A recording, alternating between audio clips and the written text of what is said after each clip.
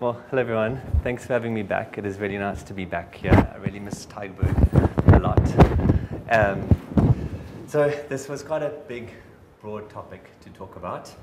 Um, and I think I had a little bit of experience when I did physics um, primaries for radiology. And one of the biggest bits of advice that I got when I was doing it was to not overthink things too much in the physics and kind of absorb it, and then later on it kind of fits into place when you apply it.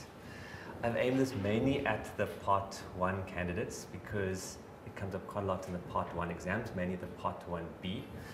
So I had a look at the, at the blueprint and it looks like most of the blueprint is for ultrasound physics, which obviously is understandable, it is definitely the most important. But then they are also want physics of x-rays, CT scans and MRI, which is quite a big task. So I've kind of condensed everything to give kind of a grounding and to try and understand it. But for the exams, you probably have to go and carry on reading just to add a little bit more so you can answer the questions. So starting with ultrasound.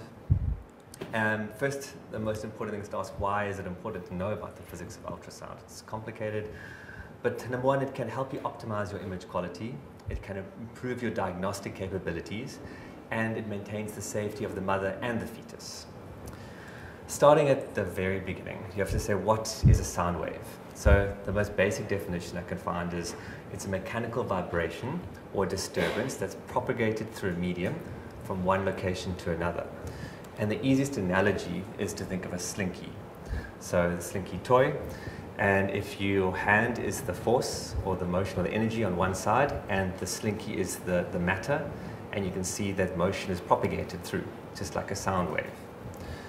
Or alternately, looking at it with, with these particles, so each dot represents a particle. At the top, it's evenly distributed, and you have a small piston on the one side, which ultimately will represent your transducer. The piston moves to the right and causes an area of compression, then moves back again, causing an area of rarefaction or decreased compression, and continuously does this to make a wave that's propagated forward. So this at the top kind of looks similar to the slinky, um, but you can then translate this mathematically into a transverse wave, where the crests of the wave represent compression and the troughs represent decompression. And the amplitudes up and down represents how much that hammer moves or how much the, the piston moves. Very basic for ultrasound is where, what is wavelength. So it's important to note wavelength is a, a distance, and it's the distance traveled in one cycle or it's the distance between two identical points. So you can say the distance between the maximum compression to the next one. And it is inversely proportional to the frequency, which we'll understand why now. So frequency is the number of cycles of compressions and rarefactions of a sine wave per second. So you can see that illustrated in the top wave. We have a shorter wavelength, so we have more cycles in that one second time piece and below we have a longer wavelength, so we have a decreased frequency. So it's inversely proportional to the wavelength. Amplitude and intensity, so it's the measure of degree of change in a medium, so how much uh, disruption the piston causes. So let's put the piston at the top right, so the piston's moving more up left right, causing a greater amplitude of the wave. It's the length of the oscillation of the particles, and the higher the amplitude, the more intense the sound. But why is all this important to know? So, a smaller wavelength has got a higher frequency, it produces higher resolution, but it has less penetration. So, a linear probe. And a higher wavelength has got lesser frequency, less resolution, and deeper penetration. So, a curvilinear probe. Next important part is compressibility. So sound, veloc sound velocity is inversely proportional to the compressibility of the conducting material. So the less compressible a medium, the faster the sound wave will move through it. That's why um, sound moves quicker through solids compared to liquids compared to gases. And I look at the analogy with the slinky. If you keep the slinky closer together, the matter is closer to itself, so it's denser, and if you propagate a movement, it moves faster. The density, so dense materials like bone have large molecules with large inertia, so density is inversely related to the velocity. So if you look at air, and the velocity is 331, uh, meters per second, and then compared to skull bone is much increased. So the transducer is an important part of ultrasound, um, and quite a lot happens in the transducer. And it's when you realize how much happens, you realize why they are so expensive. So just transducer anatomy. Most important part being the piezoelectric crystal, which is the light blue. On either side are electrodes, and then a backing block. We'll come back to what each of them does and how it works. But a, a transducer does three main things. It generates an ultrasound wave, so it converts electric signal into ultrasound energy that can be transmitted into the tissue. And then it converts the ultrasound energy reflected back to the tissue into an electrical signal that you see on the screen.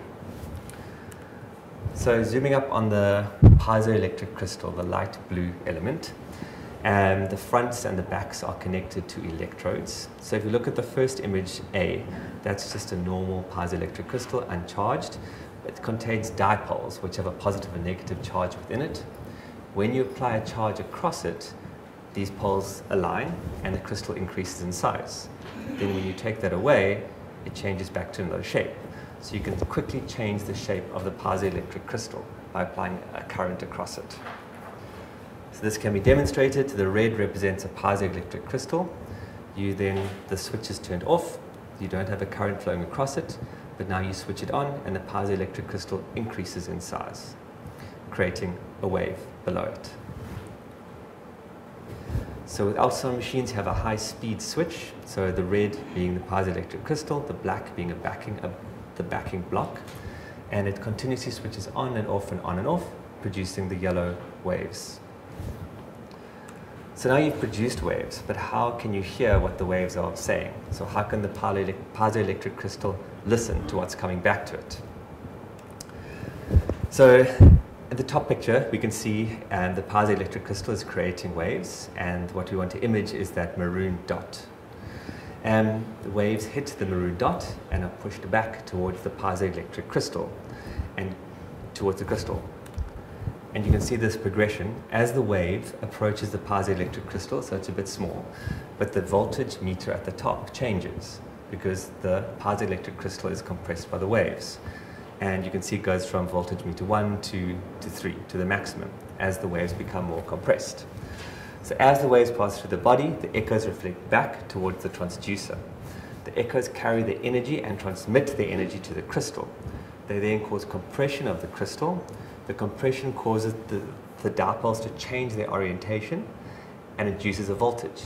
This voltage is amplified and this produces the signal for display. And this happens multiple times, so you can see that's a transducer sending multiple waves down. So just going back, the backing block is really important because it stops the crystal vibration within a microsecond, and so the crystal can go from creating sound waves to listening to sound waves coming back how, next thing is how the waves received in the tissue. So a whole lot of things happen as a wave moves through tissue. Attenuation, refraction, reflection, and scattering. Attenuation is a reduction in the intensity of the ultrasound beam as it traverses matter. And this happens as the sound wave is converted to heat energy. Um, so the tissue absorbs some of the ultrasound waves, therefore less or no waves return back to the screen and nothing can be imaged. So this is more for deeper structures. So you can see on the, on the left, the image, the waves becoming less and less strong as attenuation occurs. Scattering. So small st structures result in scattering of the ultrasound signal. And the beam is, beam is radiated in all directions. So you can see the red beams being pushed forward. They hit this very irregular yellow object. And the blue wave is reflected back to the transducer and it's imaged but the red waves are scattered away and they're not imaged. Refraction and reflection. So each tissue has something called acoustic impedance. So it's a bit of a complicated thing to understand, but it's related to the density of the substance and the speed of the ultrasound in that substance. So when the ultrasound passes through two substances with different acoustic impedances, two things can happen. Number one, there's refraction. So part of the wave continues but bends away. So that's in the pink. So not all of it will be imaged. And then reflection. So part of the wave is reflected back and that is imaged. Artifacts, there are many artifacts in ultrasound, but some of the most important ones are shadowing, through transmission, reverberation, and refraction artifacts. So just to give you an example, shadowing, there's a signal void um, behind objects that strongly reflect or absorb ultrasound waves. Also, I'm showing the IOTA rules, the simple rules, you would have read that, there's post-acoustic shadowing on one of the, the, the benign rules through transmission, so there's increased echoes deep to the structures that transmit very well. Um, so this is a kidney with a kidney cyst, but it's a similar finding for simple ovarian cyst as well. So you can see this increased intensity waves after the cystic structure. Reverberation artifact is a little bit more complicated to understand, um, but ultrasound assumes that a single pulse exits the transducer and is reflected back. But sometimes the wave is bounced between two parallel reflectors before returning. So this confuses the ultrasound machine, confuses, and it interprets it as coming from different depths. And hence you get this reverberation artifact. And I remember I was in neighborhood with an old machine, and sometimes I'll get this, and I'll blame the machine but if you just change your angle, you can often uh, correct the artifact. Refraction artifact, um, so this is non-linear bending of sound waves. Remember refraction means the sound waves moves and then it bends. So the ultrasound machine assumes that the beam moves in a straight line, but it doesn't always, and therefore does not correctly locate the edge of a bent beam, like in this um, cranial ultrasound or head ultrasound. So resolution is the ability of the, the, ability to distinguish between two closely related structures, and it varies with frequency as inversely proportional with the wavelength. So smaller the wavelength gives you increased resolution but decreased penetration. There are two types of resolution to note, that being axial and lateral resolution. So axial resolution is the ability to distinguish structures that are in the same direction as the sound wave. So you can see those two dots, and you can see a very high frequency wave being shot at them, and you can see quite good resolution, axial resolution. But when you use a low frequency probe or low frequency wave, you can't really differentiate between those two dots, and they come out as one big blur. So obviously the better resolution is to increase the frequency. Lateral resolution is the ability to distinguish between two closely adjacent structures that are perpendicular to the sound waves um, and that will be changed by changing your focus. So the display, we've spoken about how we obtain these ultrasounds, but how do we put something on a display to give you an image on the screen? So electric signals of the echoes are amplified and then they are displayed on the monitor. The different types of modes, A, B, and M. I'll just focus on B, which is brightness, but you should just know what A and M are for. So B mode, this is just a visual representation of, of what happens. So the black is the screen, um, and then you see the ultrasound probe shooting a wave, and the image to be the structure that's going to be imaged is the round circle. So the ultrasound wave will be shot out, and it will be reflected back, but won't be that intense. And as it goes along, it hits this more dense structure, and it comes back as a brighter or higher voltage structure, which interprets as a higher signal, which will come out as, as a white dot. Then the middle of the, of the circle, there's nothing. Then it hits the end of the circle and it hits the, the other part, which is bright, and then nothing again. So this is repeated multiple times. So you eventually get an image that's created. Doppler, so color Doppler is an imaging test that uses sound waves to show blood uh, moving through the vessels. So just a bit of quick revision. Um, frequency, remember, is the number of cycles per second. And we've highlighted here below is a low frequency and above is a high frequency. So four pink dots at the top and two at the bottom. When nothing is moving, ultrasound waves sends out a wave at a certain frequency and expects it back at a, at a certain frequency.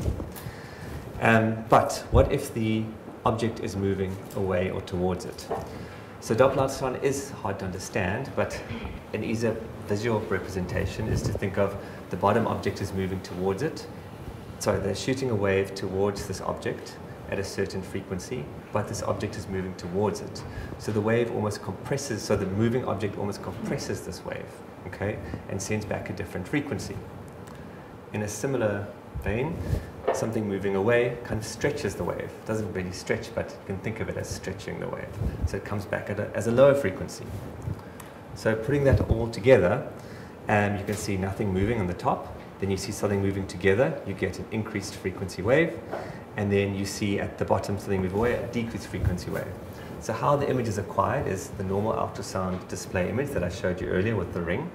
But then if the ultrasound machine notices that something is moving, it'll superimpose the Doppler flow image on top of it, and you'll get flow.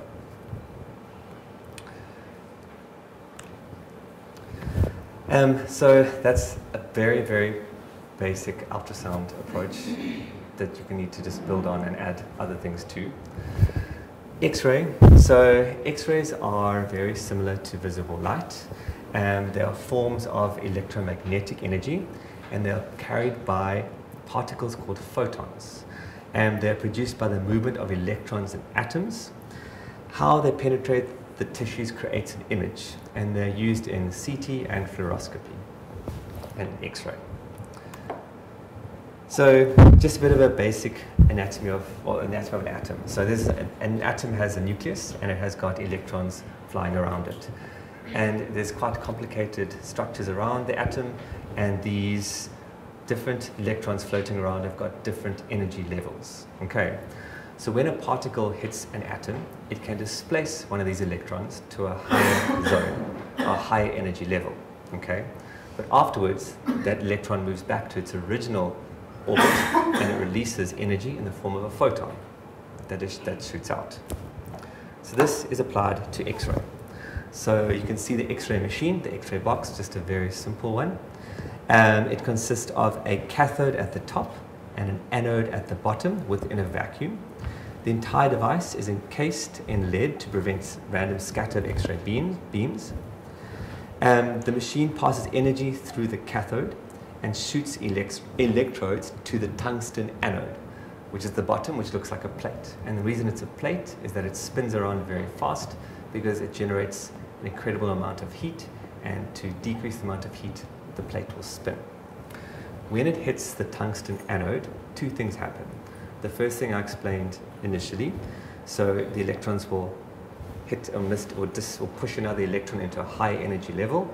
It will then fall back to its original place on orbit and it will shoot out the green photon.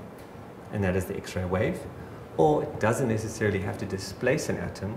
It can move close towards the nucleus and you can see those green dots the here, moving around the nucleus and being changed direction, and that shoots out photons as well. And how that is interpret, interpreted into an image.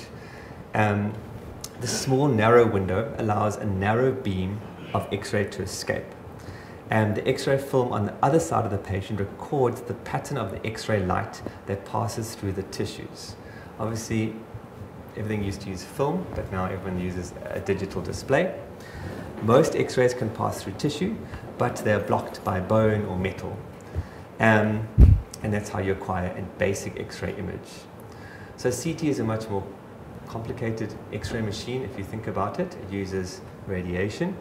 Um, it spins an X-ray source, as you can see there, in a 360 degrees around with, with detectors. And a patient is on a bed and is moved through the X-ray machine. All modern CT scan machines use spiral acquisition. So they're continuously shooting a ray of X-ray beams with a detector around it. And there's a spiral acquisition. So it's not one 360 degree loop and then move. The patient can move quickly through the machine and the spiral acquisition picks up raw data, it puts it into a very complicated algorithm, and it creates slices. And that's how an X-ray picks up images. So MRI, um, MRI uses magnetic fields and radio frequency. It's a type of quantum physics, so the study of small particles. And if there's ever a time to kind of not question things and just accept it and it'll make sense later, it's probably with MRI. It can get quite complicated. So just the basic anatomy of an MRI machine. So the bore is the tube where the patient lies. Um, there is a supercharged magnet. On the inner surface are gradient coils, so magnet and gradient coils. So with regards to the strength of this magnet, the average magnet is about 1.5 Tesla, can go up to 3 Tesla for research purposes. I think there is one downstairs for 3 Tesla. Um, an example of how strong it is, so 1 Tesla is 10,000 Gauss, I'm trying to exactly say it. The Earth magnetic field is 0.5 Gauss or Gauss, so it's an extremely strong magnetic field.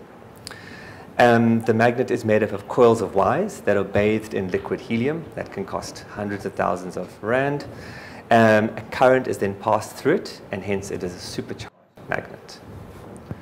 So, the body consists of many atoms, billions. Um, with MRI, we are only concerned with hydrogen atoms, um, which are abundant in the human body. These atoms are randomly spinning, but the proper way to say it is they are precessing. So you can see in image number one, those little, looks like apples on a stick, are spinning around and precessing. When they go into a magnetic field, which is number two, they start to align. And half, most, half will go or face towards the top of the patient, and half will face towards the bottom of the patient. Um, but there will be some unmatched pairs and those are the green ones. And that's how the MRI image is derived.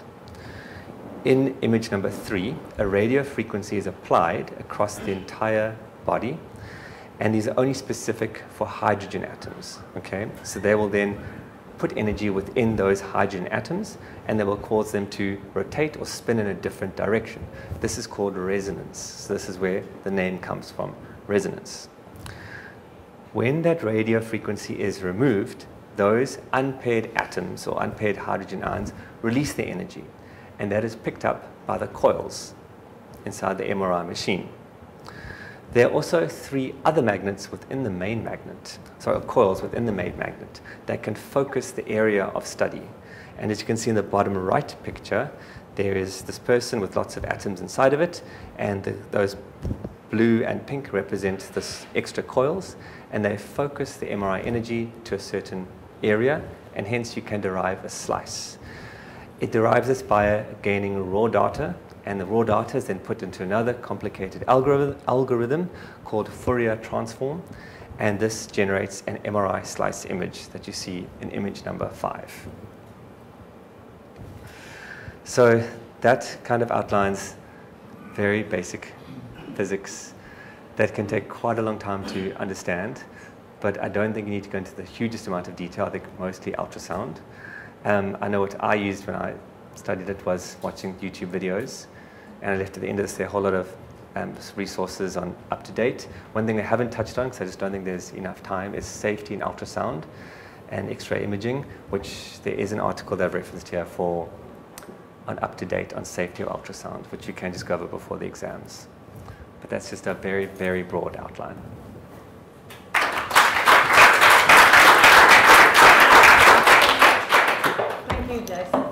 Mark um, a primary question last year on physics of MRI. and it took me much longer to set up the memorandum than to mark the question because firstly it was difficult to set up the memorandum and secondly all the answer sheets were empty. So um, yeah, I think maybe I can ask Jason to give me a copy of his presentation and then I can give it to the primary candidates that's preparing. Um, thank you very much for that. Um, any questions from anybody?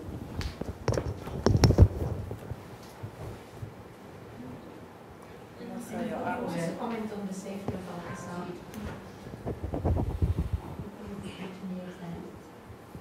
You still have to do the oral. Yeah. yeah.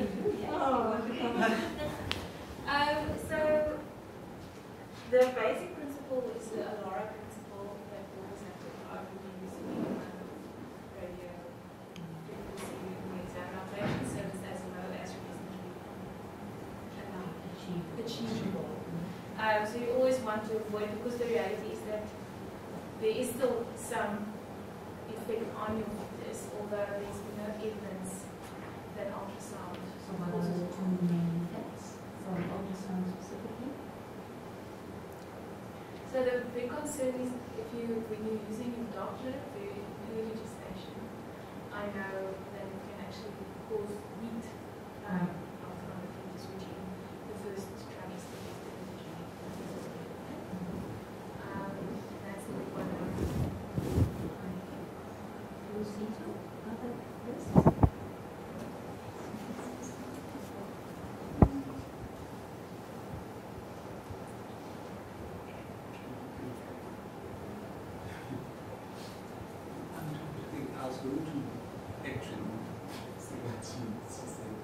the new generation and the embryonic phase.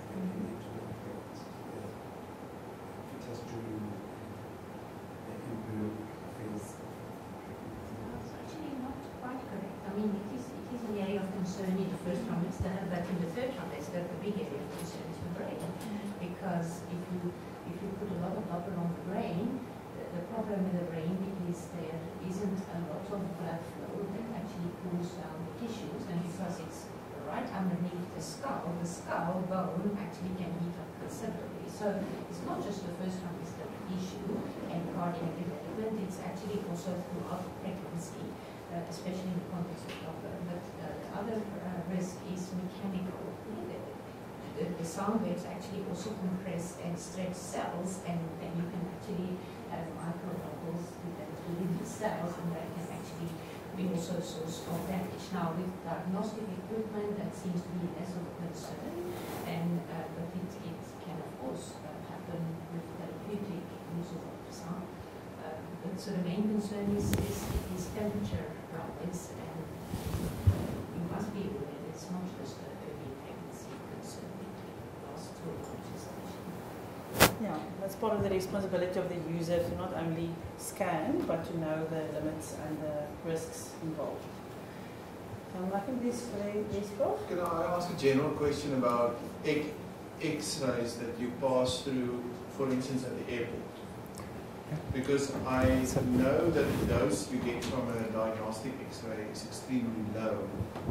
Um, how does that sort of type of X-ray compare to a diagnostic X-ray, and how does that compare yeah. to CT, for instance? So it's extremely low. So I found out walking through those X-ray machines in the airport are equivalent to I think five minutes in the air of radiation. So it's an extremely, extremely low dose of X-ray. And what can they see on those X-rays? I mean, Oh no, it's, I think it's just picking up metal or um, I mean the ones that spin around. No, I know at oh, the Cape Town airport. Oh, Cape, oh those metal detectors. I think it just picks up, it picks up metal.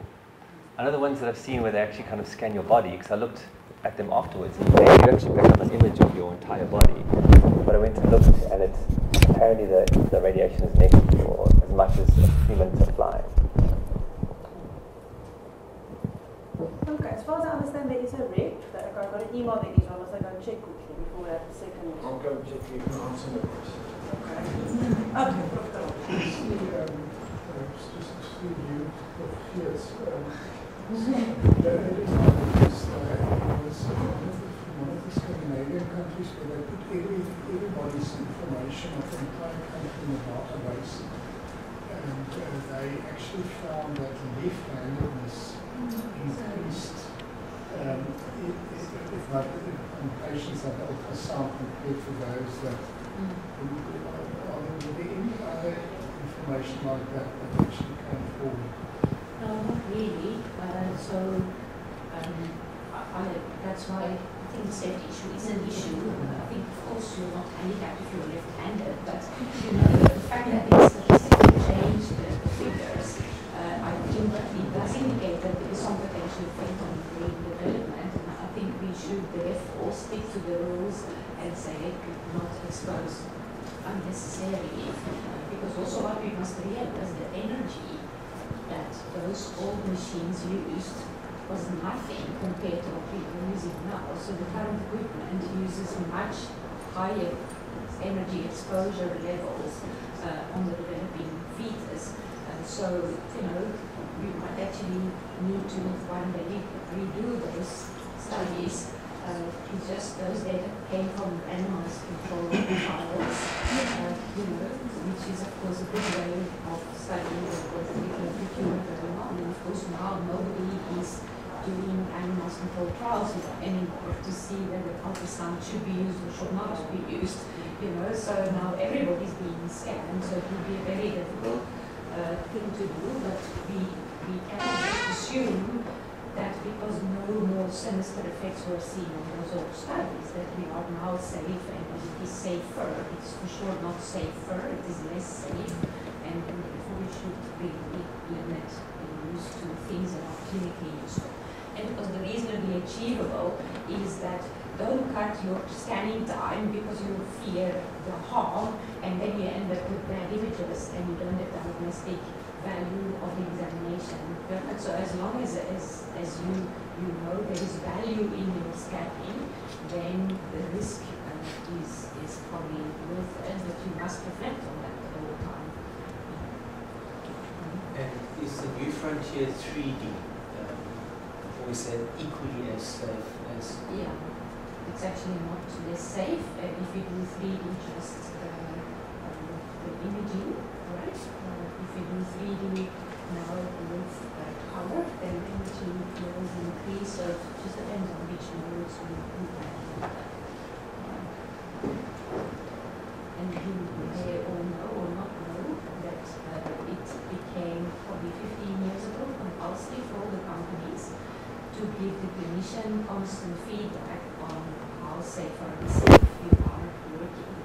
Um, and on the screen there are two things, a TI and MI, um, and the one is the thermal index and the other one is the mechanical index. And you should just not just scanning, but actually having those numbers as well, because as soon as they approach one level over, you should actually stop scanning, give it a rest, read it, reflect on and you should continue uh, or not. So uh, in, in the past, nobody was aware. Some companies gave it to you, or it's in a machine that they don't tell you, and now it's actually compulsory to be on the screen so that you can actually see it all the time. And, so it's, it's really food safety. And, and the reason is not because it's so dangerous, but because so many, many, many, many million women and fetuses are exposed to it. You know, it's, it's a numbers game. Okay, what's the time now? Two to three, so we're going to reconvene at Five. three. Three o'clock, okay, so there's a